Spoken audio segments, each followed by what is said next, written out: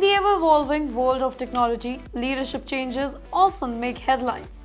And the latest buzz surrounds a name that's about to become very prominent in the tech world. Meet Kevan Parekh, the Indian origin executive who is set to step into the role of Chief Financial Officer at Apple in January 2025. Now, this is a milestone moment for both Parekh and the tech giants and it's worth diving into who is he and what he brings to the table. This is Times XP and I'm Dhriti Atri. So, in the world of big businesses, deciding whether to promote from within or bring in new talent is a common dilemma. Many companies today opt for fresh perspective from outside, hiring leaders who have upskilled across various firms. But Apple, which is known for its blend of innovation and tradition, has chosen a different path. Just like Apple's product evolve each year while keeping their core design and tech, the company has decided to promote from within its next big move.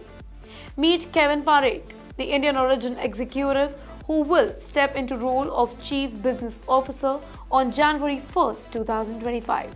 Now Parekh will take over from Luca Maestri, a long-time veteran at Apple.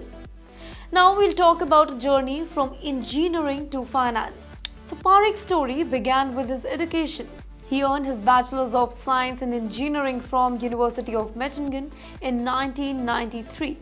And later on, he completed an MBA from the University of Chicago Booth School of uh, Business in 1999. Now, this mix of technology and business education paved the way for his successful career. Parekh joined Apple 11 years ago, starting in the finance and product marketing team. Then, over the time, he worked closely with Tim Cook, Apple's CEO, on the key financial and sales issue.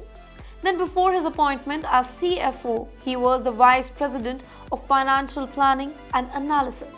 Now, Parekh's career path is a testament to his abilities.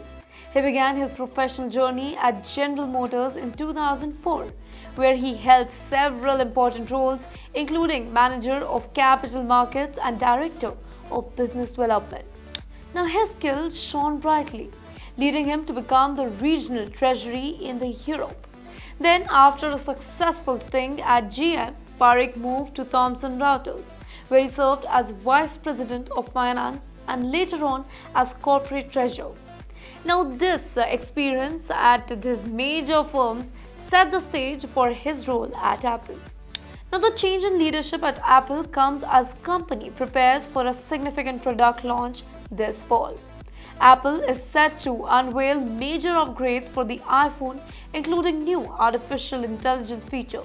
Now this move is very crucial for Apple as it aims to revitalize its sale and stay competitive especially in the challenging market that too in China. Now, according to the analysis, the transition to Parekh as CFO is expected to be really smooth and well organized. Now, as Parekh takes uh, into his new role, he faces the challenge of maintaining Apple's strong financial position while exploring new opportunities. Now, analysis also speculate that Parekh might also be tasked with considering strategic acquisition, a skill set that is different from his previous role. So basically, in summary, Kevan Parekh's promotion reflects Apple's commitment to nourishing a talent from within while embracing new leadership for the future growth.